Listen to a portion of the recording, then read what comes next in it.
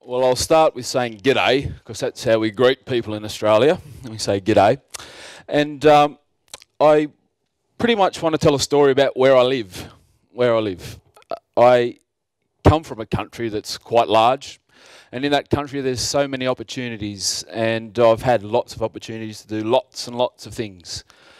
I've had the opportunity in sport, I've had opportunities um, in teaching, I've had opportunities to look at assessment, look at leadership, and work with different people around the world and around the globe, and I'm and I feel grateful for that.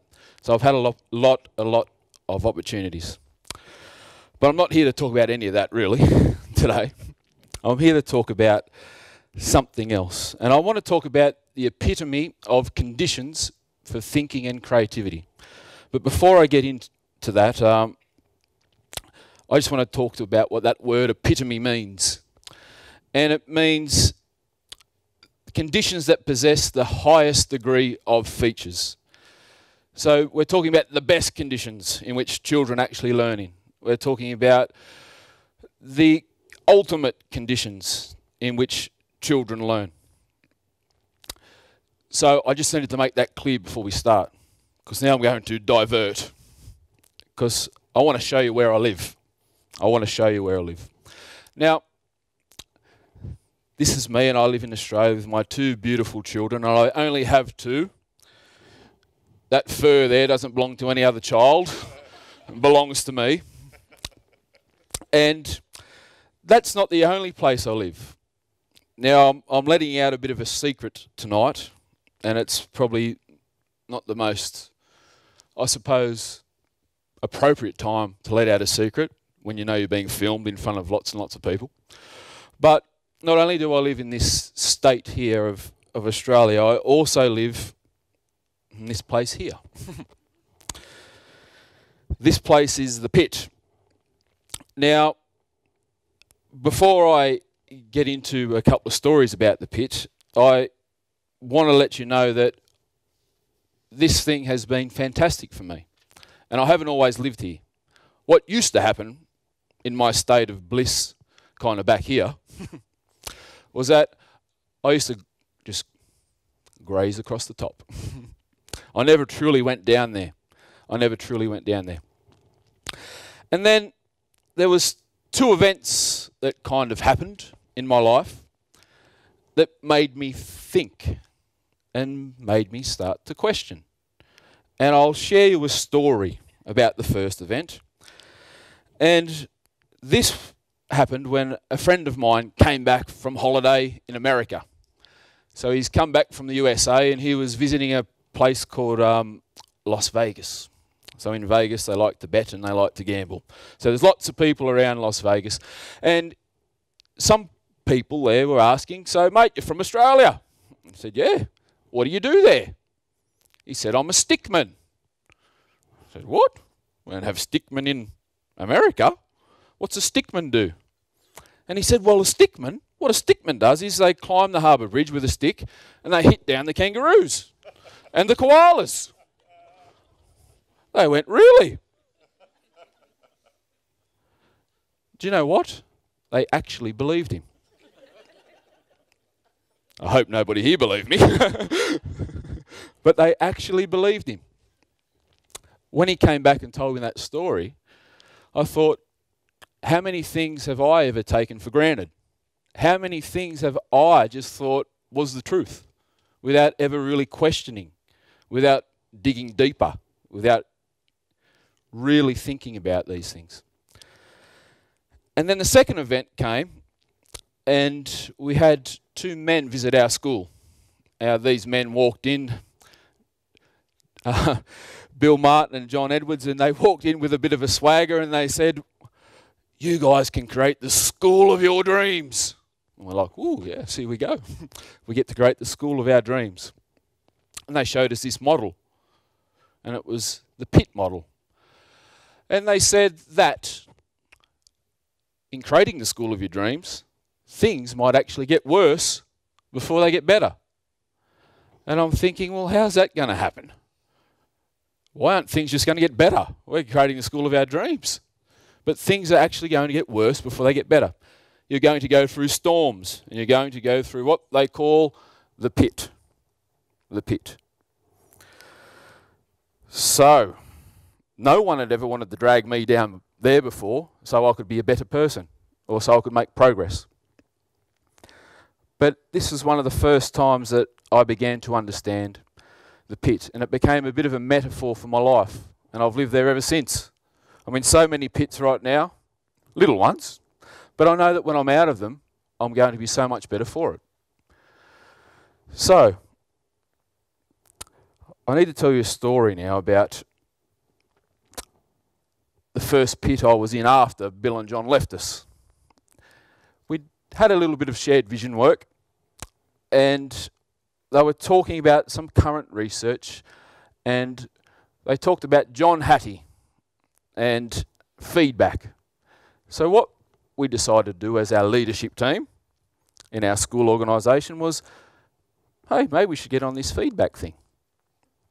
We looked at different ways to do feedback. So, we tried. So, here's me. I played rugby league, right? And a bit of a tough sport, apparently. And here's the other leadership members of the leadership team, and they're three women. They're three women. And they're beautiful people to work with, absolutely lovely. So here we are, we're having these brutally honest conversations. Brutally honest. So, what do these women start to do? They start to cry. so, we're giving feedback. So, I'm running over here, getting a tissue box and bringing it back. Oh, she's had her feedback now. Next bit of feedback, the next person, oh, they've had their feedback. Anyway, it gets to my turn. So what do I do? My turn for I start crying too. All this feedback, it, it's the brutal truth of it. And that's when I got into one of my first pits. From hearing that feedback, though, from being down there and feeling that, could you imagine how much I grew? I grew so much. And I was thinking then, well, if it's taken me 25, say 26 years to get down into one of these pits and actually consider things, then I need to get my kids in the pit that I teach. I need to get them down in there constructing knowledge, making things better, making connections, thinking deeply about things. And I didn't know how to do that. I didn't know how to do that. So what happened then is that I was lucky enough to meet um, James Nottingham. And James showed me how to get pretty much children down there into the pit. And showed me a model of this pit. And he could relate it to learning. To learning. And I was a bit I suppose, enthused about philosophy for children. So James was able to show me that if you question children and create cognitive conflict in children, then you can drag them down and their understanding, when they consider, reflect, create, their understandings will be much, much higher than what they began. So I've thought about this. I introduced the pit to my children and the understandings he was right about. So here I am creating cognitive conflict, and you can do that by simply questioning students. So that one might say, What's a friend? And the children will say, Someone who's nice to you. Well, I went to the doctor's the other day. He was very nice to me. Gave me a nice needle right here. Does that mean he's nice? Does it mean he's my friend? Hmm. So typically children say, well, friends are somebody who plays with you. So then if I play with you, does that mean I'm your friend?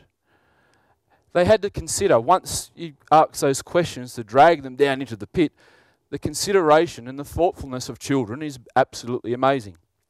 Now, I remember one philosophy lesson, this is one of the first ones that I taught, and it was about stealing.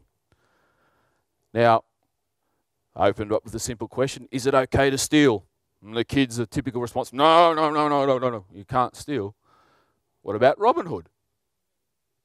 He used to steal, and give to the poor. Is that all right? Well, that could be. That could be all right. Who's got an example, I said, of in this classroom? Who can think of an example when it might be okay to steal?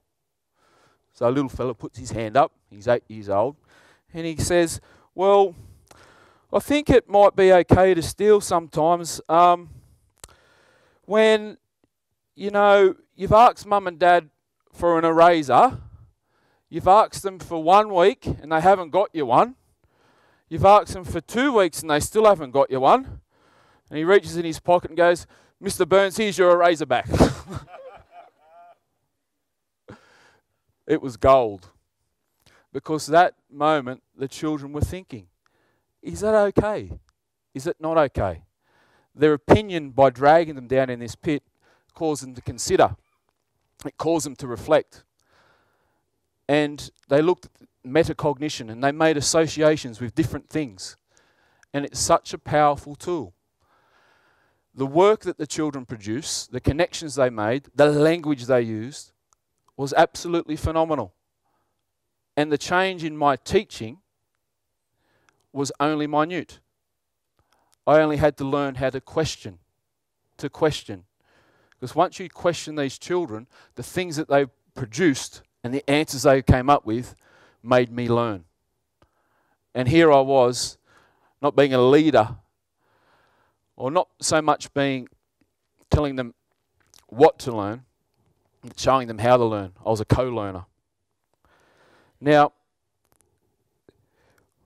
what I want to do now is, is, I suppose, talk to you about how then I use this to create cognitive conflict, but how we can use this not only in thinking, but to create creativity in schools. Because I want to probably talk about uh, a TED talk that I saw involving Ken Robinson and how schools can create kill creativity, and it got me looking at a few things, and it got me questioning. And I asked myself, what are the best conditions for creativity? So I began to look around and study CEOs of big companies and corporations, and I looked at many different things and educational research and I also looked at current reality. Now, if we look at, our current reality, I'm not sure about over here, but I know in many pockets of the world, current reality is that in schools, particularly, we focus on results. People are focusing more and more on results. Results are getting published in newspapers. They're getting put on the websites. You know, that's changing the way we teach because we want results. So it changes our pedagogy. And what that's doing is maybe taking away from the creativity of our children at the detriment. So if we focus on results, what we should be absolutely focusing on is their progress, is children's progress. So it's important as us, for us as educators that we don't focus totally on results. Yeah, they're important. They are but so's creativity and so's that in children. And it's us that can make the difference. It's truly us that can make the difference. Now, the thing is, expertise must adapt with time. They must adapt with time. I don't want to go to a doctor who's using medicines that were invented 10 years ago now, that aren't up to date, that have gone out of date. You know? I want to go back to the 1920s and have to take some of the medicines that they had to taste. So, as teachers, I suppose it's our job, and it is our job, that our expertise adapt with time. They change. We must adapt. We need to adapt to learn how to use iPads now because they're coming in. So, as teachers, we adapt. We look at different things and how we can relate them to the context in which we are in now. And it's important that our teaching methods change. And it's important that we take things and relate them to our context. And this pit model for me, and relating it to the context of my life, knowing that it's going to get better, and taking this pit model and relating it to student learning, I've seen so much change in students. in students. Um, the thing about creativity and getting students in the pit is that we need to allow opportunities for this to happen more than once. You just can't get them in the pit and leave them there. Well, I suppose you could, but it's not really fair. We have to give them strategies to work out and, and teaching tools. And again, that's the questions we ask. And again, it's the, the dialogue that we allow to happen between students in each classroom. So it requires commitment. Creativity requires commitment. It requires failure and it requires learning. And the only reason we, we fail is if we don't give our students the opportunities to make mistakes themselves. Right? We can't give students the answers all the time. We've got to let them create their own answers. So we have to create this cognitive conflict to get them down there. So the things about innovating and creating is it's about making making existing things better. So that's what we try and do. That's what innovators try and do, make existing things better. And simple as asking a child, like, how could you make this classroom better? And listening to them. And their creativity responses are very, very surprising. Very, very surprising. I suppose as teachers, we need to spark that passion and be curators of this creativity and to help grow it in our students, to help grow it. And there needs to be that balance. There needs to be that balance of, yes, let's look at our results, but also, hey, let's give our children opportunities to create, to be creators. Let's give them these conditions where we're going to challenge them, where we're going to make them think and require them to think. So let's do that. Let's make that commitment. Because in the end, to be honest, we don't teach because of the paycheck we take home. we don't do that. It's to make a difference in these children's lives and to make a positive difference. So, what we need to do is we need to teach children what to learn, but we need to teach children how to learn because they're the skills they're going to take away with them. The knowledge that we teach them, they might remember this much. They might remember this much. But if we teach them how, we give them opportunities to create connections in the pit for them to know how they can apply that to different situations in their life. And that's so much more powerful, so much more powerful than teaching them facts about things. Teaching them about pronouns and nouns. Gee, that's interesting. and even one of our most famous scientists was able to recognize something very important. Something very important. And Albert Einstein was able to recognize that imagination is more important than knowledge. So, if we can teach our children to dream and dare to dream and facilitate their dreams, facilitate their creativity, create these conditions where they can make connections, deep connections, and that's what I think is doing our job as educators. So I just want to finish up on one last quote. And it says, People who think they are crazy enough to change the world are the ones that do. You know, are the ones that actually do. So, food for thought, food for thought.